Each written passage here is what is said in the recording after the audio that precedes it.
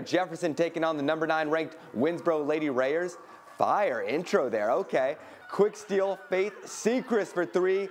Too easy, splash. But let me just tell you this right now. Literally nobody was stopping Faith Acker. Nobody. Grabs the board here and puts it back. And here we go. Some nice passing here. They're gonna go all the way around until they find, guess who? Acker again. Easy bucket there for the UL Monroe commit. How about the sophomore Hallie Deaton with the Euro? Nice move for two there. Lady Raiders on a heater right now. Deaton pass out to Caitlin McAdoo for three. Count it.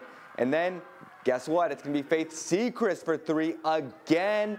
Up and bang. Winnsboro playing on rookie mode with the sliders all the way up. 25-0 after the first quarter. Classic Winnsboro style. Their side of the arena was packed. They might have the biggest fan base around. In second quarter now, Jefferson for three. Daria Hood gets them on the board.